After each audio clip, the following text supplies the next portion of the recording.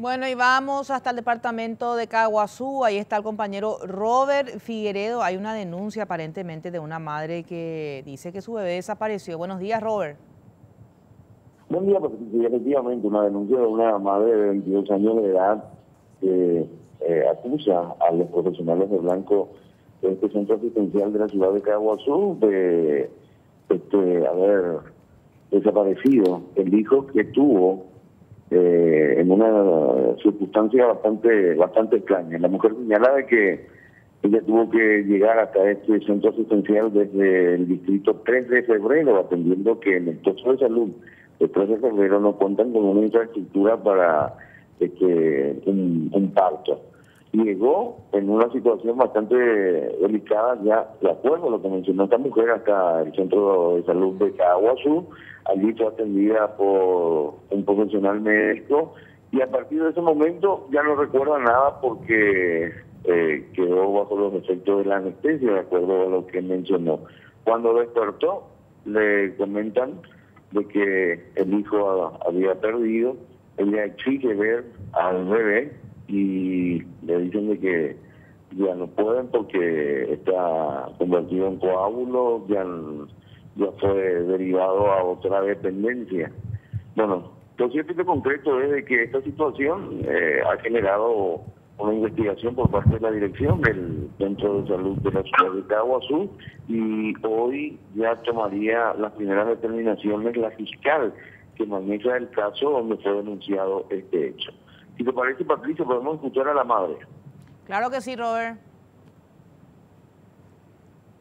Oye, pues la carpeta le que dos meses hace, y cuatro, nueve meses más. Ya cumplí, está más, no me cumplimos, y para la nueve, que alguna vez ya voy de por de fecha hau kanil la mitad. Hau pon se hace ayu ape kinda línea o se droga eso que la denuncia ajá eso puede denunciar ta su puede ya o puede ser o pia paite se kwa puede bueno de jota más ahí allá es con de droga ven es con le demandan de pues ahí porque le le copamos los testigos lo le ni fiscalía ni policía ni marito donde ponjan la ne me bunde ya perder más o perder más de bebé.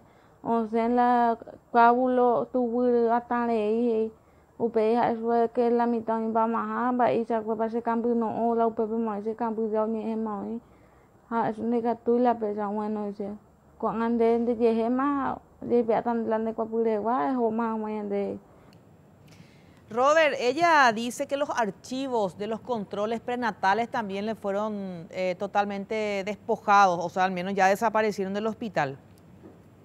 Sí, ella acusa eh, de que los archivos de su consulta prenatal eh, le fueron despojados en el centro asistencial.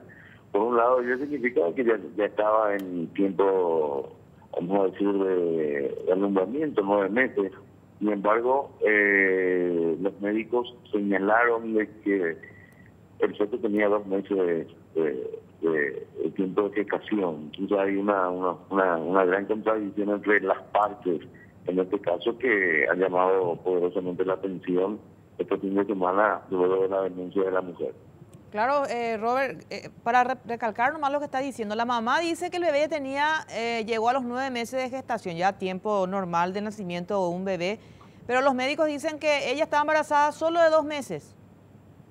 Efectivamente, esa es la, la situación, la, las dos contrapartes bien diferenciadas.